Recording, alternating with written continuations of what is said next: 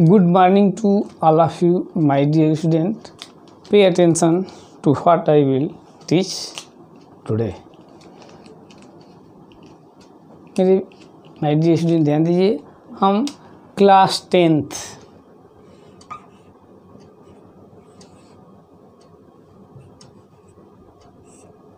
की lesson number three metal and non metal chemistry का है ये आप लोगों का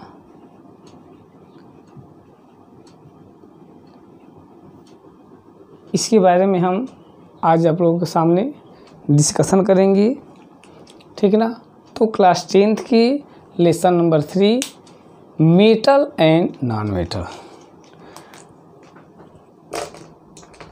as we already already know that all elements mainly divided into two group जैसा कि हम लोग जानते हैं, सभी एलिमेंट को मेनली हम दो ग्रुप में डिवाइड करते हैं।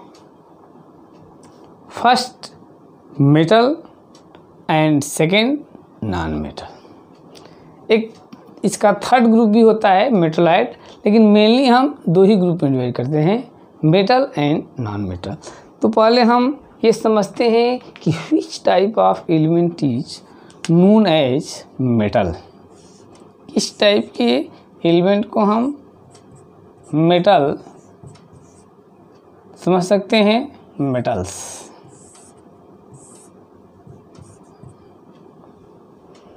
generally the substance which lose electron and form positive and is known as metals generally समझता हम जानते हैं कि वे सब्सटेंस जो इलेक्ट्रॉन को लूज करके और पॉजिटिव आयन फॉर्म करते हैं.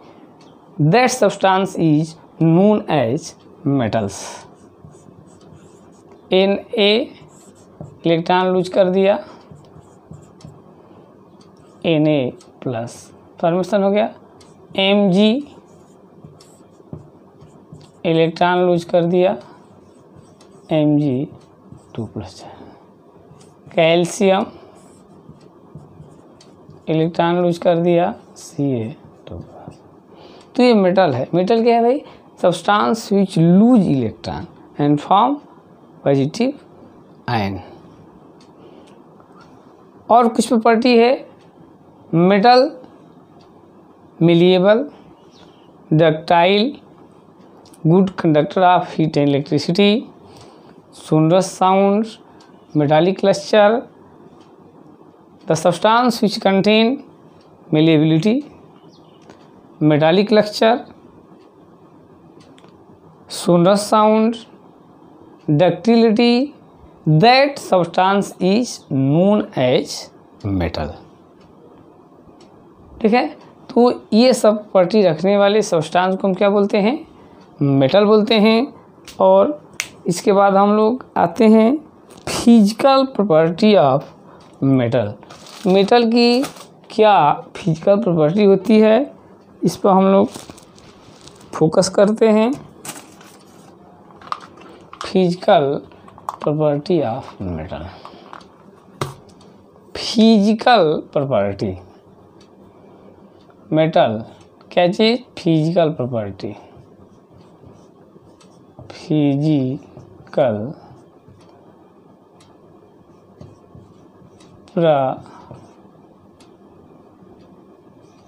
properties first malleability. Metal acquire a character of malleability अब क्वेश्चन ये था कि व्हाट इज़ मेलिबिलिटी malleability क्या है? If you beaten a piece of metal with hammer, it converted into fine sheet.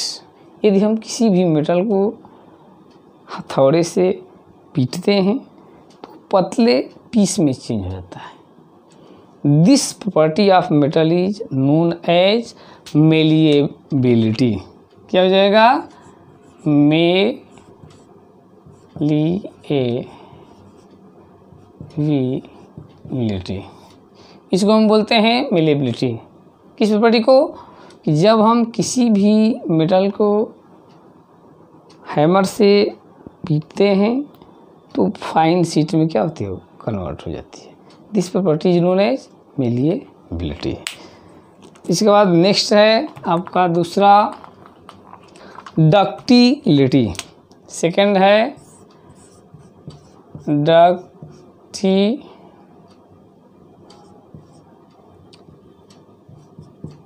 लिटी। ये क्या है भाई? Means metal can stretch in thin wire metal को हम पतले वायर में कन्वर्ट कर सकते हैं।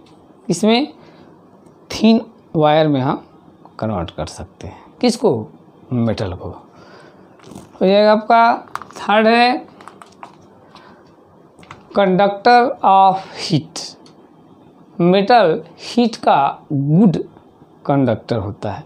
मीन्स मेटल में यदि हम हीट पास करते हैं तो किसी भी मेटल के पीस ले लीजिए और यहाँ पर हीट कीजिए तो आफ्टर सम टाइम इस पोर्शन तक भी वो क्या हो जाता है? हीट हो जाता है। मतलब कि हीट मेटल में हीट जो है कि कंडक्ट होती है। क्या रीज़न है? तो मेटल के आउटरमोस्ट सेल में जो इलेक्ट्रॉन होते हैं, हीट को लेकर के अपनी प्लेस से दूसरे पास वाले जो है कि एटम को हीट को क्या करते हैं? ट्रांसफ़र करते हैं। इसलिए मेटल में हीट कंडक्ट करने की गुड कैपेसिटी होती है। फोर्थ नंबर है conduct conduction of electricity metal electricity का भी गुड कंडक्टर होता है। इलेक्ट्रिसिटी का भी गुड कंडक्टर होता है। Because metal contain one or two free electron in its outermost shell और that electron help to conduct of electricity ये इलेक्ट्रॉन मेटल के अंदर इलेक्ट्रिसिटी को कंडक्ट करने का जो है कि वर्क करते हैं या इलेक्ट्रिसिटी को कंडक्शन में हेल्प करते हैं। ठीक है? इसके बाद metal are lustrous metallic lustres मतलब आप लोग ध्यान दिए होंगे कि मेटल में जो होती है, इसकी एक ये प्रॉपर्टी होती है कि हर मेटल की एक स्पेशल शाइनिंग होती है। जैसे सिल्वर वाइट कलर का। गोल्ड येलो कलर का। ठीक है ना? Copper, reddish brownish reddish. तो जस्ट लाइक हर मेटल की एक स्पेशल शाइनिंग होती है, जिसमें मेटालिक लस्चर बोलते हैं। ठीक है ना? इसके बाद मेटल हार्ड होता है। मेटल क्या होता है? हार्डनेस होती है मेटल में, और सिक्स नंबर है रूम टेम्परेचर पर मेटल सॉलिड स्टेट में प्रेजेंट रहती है। केवल मरकरी ऐसा मेटल है जो कि रूम टेम्परेचर पर लिक्विड स्टेट में होती है बट जितने भी मेटल्स पाए जाते हैं, वो सभी मेटल्स रूम टेम्परेचर पर जो है कि क्या होते हैं? सॉलिड होते हैं। सेवन नंबर, मेटल का मेल्टिंग पॉइंट और बॉइलिंग पॉइंट हाई होता है। मतलब कि इसको मेल्ट करने के लिए और बॉयल करने के लिए बहुत एक्स्ट्रा अमाउंट में हीट को प्रोवाइड करना पड़ता है। मीन्स मेटल में क्या होती है? तो उसको मेल्ट करने के लिए ज़्यादा एनर्जी देनी पड़ती है। इसलिए मेटल का जो मेल्टिंग पॉइंट होता है और बॉइलिंग पॉइंट होता है, वो क्या होता है? हाई होता है। इस नंबर। मेटल है सोनरस साउंड। झनकार की आवाज़ आती है। मेटल को मारेंगे तो उसमें झन सी आवाज़ होती है। ध्यान देंगे आप लोग? तो ये भी मेटल की प्रॉपर्टी होती है। मेटल में क्या होता है? तो सोनरस साउंड होता है। इसलिए जो है कि मेटल को हम वेल मन टेंपल वेम्पल में जो वेल होती है, उसको बनाया जाता है कि मारने पर बहुत झनकार की आवाज़ फैलती है। वायलिन के वायर जो होते हैं, उसमें जो है कि उसको लगाया जाता है ताकि वो आपका अट्रैक्टिव साउंड जो है कि क्रिएट करता है। तो मेटल में एक ये भी प्रॉपर्टी होती है, क्या होती है? सोनरस साउंड उसमें झनकार की आवाज़ उत्पन्न करती है। ठीक है ना? तो ये है आपकी प्रॉपर्टी मेटल के और सारी प्रॉपर्टी है। तो आपके हो गए ये मेटल और मेटल के प्रॉपर्टी ठीक है ना? और इसके साथ हम लोग फिर मिलते हैं नेक्स्ट वीडियो में, जिसमें आप लोग बताएँगे कि व्हाट इज़ नॉन मेटल ठीक है?